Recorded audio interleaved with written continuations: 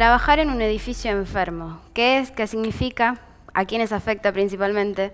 Para esto eh, nos acompaña hoy Beto Galeano, que es director del Departamento de Condiciones y Medio Ambiente de ATE. Beto, bienvenido. Muchas gracias, un gusto estar acá. ¿Qué significa trabajar en un edificio enfermo? ¿Qué es un edificio enfermo? Sí, primero es interesante tener en claro una, una cuestión antes de entrar al edificio enfermo. Hay algo que se llama carga global del trabajo, está compuesta por lo que te puede pasar en tu cuerpo, por el medio ambiente que te rodea, pero también por las exigencias mentales que puede requerir un trabajo o por las eh, exigencias emocionales. Todas esas exigencias actúan al mismo tiempo. Sin embargo, la técnica la estudia de a una. Y otra cosa importante es que las limitaciones para las sustancias eh, clasificadas en nuestro país son líneas que en general la técnica lo toma como si fuera una línea exacta, abajo de la línea no te enfermas y por encima de esa línea sí te enfermas. Y es valía solo una referencia, porque los seres humanos tenemos aptitud distinta, defensa distinta y reaccionamos de forma distinta ante, ante cada contaminante. En el caso particular del edificio enfermo, actúan todas estas circunstancias al mismo tiempo. Y es probable que si las medís de a una, ninguna te dé por encima de un límite legal. Eh, pero sí va afectando lentamente la salud y va mirando la salud de los trabajadores. ¿Cuáles son las principales características que uno nota en el, trabajador afectado? En general, eh, hay mayor ausentismo por enfermedad que en restos de los lugares. no hay una, una causa única. En general, las causas son multicausales. Eh, y tampoco hay, se expresa de forma clara, sino que son malestares, eh, irritaciones en la piel, dolores de cabeza, y eso tiene que ver con la sustancia que puede estar presente en el edificio y obviamente con el clima laboral, con tu situación de contacto de trabajo. Eh, si vos estás en un lugar agradable, pero no sabes si si a final de mes te renuevan el contrato, seguís trabajando, evidentemente ese clima laboral tuyo y tus compañeros no va a ser el ideal. Particularmente en los edificios enfermos están relacionados. Hay una característica, hay uno cuando recién se inauguran, donde vos es fácil notar olor a pintura, olor a los componentes que, de los muebles de madera, los componentes que tienen que, con que los pintan. Esos edificios con el transcurso del tiempo, eso va desapareciendo. Pero no es así con los viejos edificios. Y en general, lo peor que tienen los viejos edificios cuando tienen la calefacción y la ventilación centralizada. Porque la verdad es que, como hay reducción de gastos, los mantenimientos de esos equipos no se hacen como se deberían hacer, y particularmente los filtros que deberían cambiarse con determinada frecuencia, no se hace. No se hace. A eso agregale que no siempre se cambian los elementos de medición, de, iluminación, y entonces a veces tenés la luz adecuada, pero si se quema una lámpara, no te la pone. Entonces ya tu vista empieza a afectarse. Es decir, son un conjunto de cosas que si uno las mide individualmente, pareciera que no entraña ningún peligro. Pero cuando todas actúan al mismo tiempo, la salud empieza a mermarse. ¿Y qué porcentaje de trabajadores tiene que verse afectado como para poder decir, bueno, sí, estamos en la presencia de un edificio enfermo? Y tiene que observarse que está por encima de la media la inasistencia por enfermedad. Esa es básicamente la primera cuestión. Y la otra, obviamente, hay que hacer revisiones periódicas en los edificios y verificar que esté hecha la reposición de filtros, eh, que haya luz natural. Vos fíjate que nosotros tenemos edificios donde no hay luz natural. Tenemos compañeros trabajando en subsuelos y como todos el sueldo no alcanza, la mayoría, hay muchos que no trabajan 12 horas, perdón, 8 horas, trabajan 12. En invierno no, ves la luz del sol. Entras a 8 o 9 de la mañana, te vas a 8 o 9 de la noche, entras de noche y te vas de noche. Claramente, este, la iluminación natural aporta a que las defensas actúen, particularmente también con la vitamina E y otras razones. Si te falta el sol, te va a estar faltando vida. Y la característica de los compañeros, quizás entre ellos no lo noten porque están acostumbrados a verse, pero vos cuando vas de afuera, ves su palidez, sus rostros este, distintos al que está trabajando a la luz del sol. Te das cuenta que no hay una, una clara enfermedad, pero como que falta salud. Hay varios edificios dentro de lo que es ciudad y provincia de Buenos Aires que contienen grandes niveles de, asbesto. ¿Esto es así? ¿Tienen alguna, algún caso identificado? ¿Son varios? Mira, en principio el asbesto fue prohibido en Argentina entre el 2001 y el 2002. Se prohibió su uso, pero no hubo planes de retiro. Es decir, lo prohibimos y creemos que mágicamente va a desaparecer. Ah. Y es así que lo tenemos todavía en muchos edificios públicos, en muchas viviendas. En los edificios públicos nosotros hemos encontrado en las viejas calderas eh, toda la cañería con, cubierta con, con asbesto. Encontramos todas las semanas, cada vez que hacemos alguna revisión encontramos. Y quizás la más característica de esta ha sido el Centro Nacional de la Música, donde en el subsuelo, donde además trabajaban compañeros de mantenimiento, compañeros gráficos, este, había, una, había una instalación muy vieja de calefacción. La caldera había sido cambiada, pero la caldera vieja había quedado ahí. Y estaba recubierta de amianto. Y para algunos casualmente, para nosotros no casualmente, los dos calderistas que eran padre e hijo fallecieron. Y la versión que corrió entre sus compañeros era porque fumaban demasiado. En realidad, si vos fumás y estás expuesto al, amianto, las posibilidades de contraer cáncer de pulmón o de mesotelioma es 90 veces más. Por eso en Europa, cuando vos estuviste expuesto al amianto, te ponen un plan de, control y si fumas, también lo que hacen es derivarte a un tratamiento para que dejes de fumar. Eh, Hace muy poquito encontramos amianto en el hospital de, las Fuerzas Armadas, de la Aeronáutica, recientemente, pero todos los días vamos a encontrar en lugares distintos.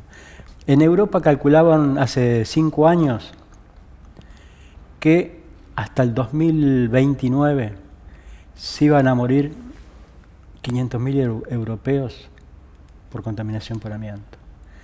Ese sector de Europa tiene 400 millones de habitantes. Nosotros tenemos 40 millones de habitantes, pero con la misma característica constructiva que tienen ellos. Usamos el amianto tanto como ellos.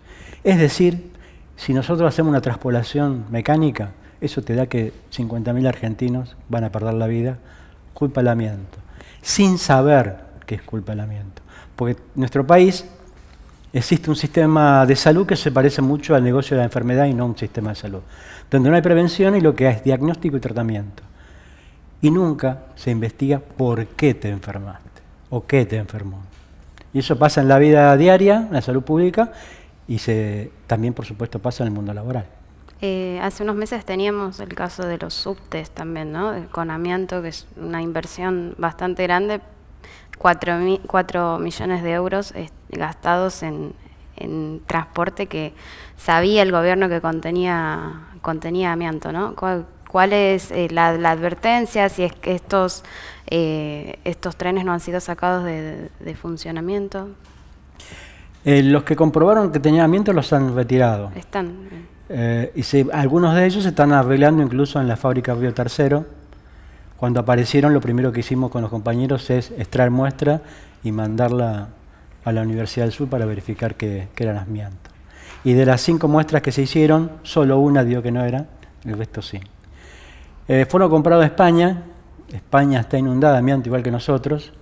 Este, cuando vos compras un material viejo, es probable que este, contenga ese tipo de mineral que se ha utilizado muchísimo en la Argentina. Bien, ¿cuáles son las soluciones o estrategias que ustedes plantean para remediar esto de los edificios eh, enfermos? Eh, ¿Cuáles son las características que deberían tener y bueno y las sugerencias para los trabajadores? Mira, nosotros propusimos un plan al gobierno anterior y parte de este gobierno también se lo propusimos. Eh, sacar el amianto, extraer el amianto, es una tarea para especialistas. Hay cuatro o cinco empresas habilitadas y nosotros lo que propusimos es que el Estado, en el sector industrial, capacitara personal y también se dedicara a eso. Eh, particularmente lo hicimos en fabricaciones militares, propusimos crear una división especial, no fuimos escuchados ni en la anterior administración ni en esta.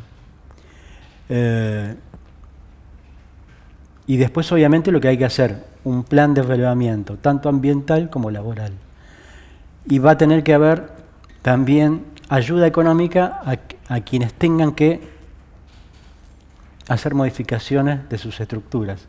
Tanto una vivienda familiar, eh, las chapas de fibrocemento, la gran mayoría son muy viejas y tienen, contienen amianto, y a esta altura friable, es decir, que se desmenuza fácilmente, por lo tanto contamina el ambiente donde estás viviendo, y lo más probable es que esa familia no tenga los medios para poder cambiar ese techo. Es decir, tiene que haber un plan de ayuda para cambiar esos techos, lo mismo que los tanques de fibrocemento, y también, por supuesto, una pyme, que le pueden faltar recursos para modificar la estructura edilicia o incluso las, las cañerías, debería haber también préstamos para que eso se hiciera.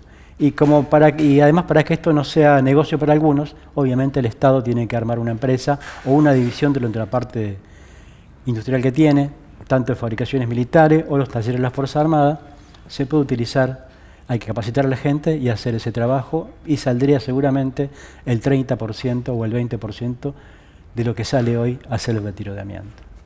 Y lo desde la parte humana, eh, trabajar eh, las horas que sean necesarias. Y desde, lo humano hay que, el que estuvo expuesto al amianto tiene que ir, tiene que ir a un proceso de control médico. Eh, a diferencia de otros contaminantes, no hay forma de hacer un análisis si está contaminado que no sea invasivo. Todos los análisis que se pueden hacer son todos invasivos.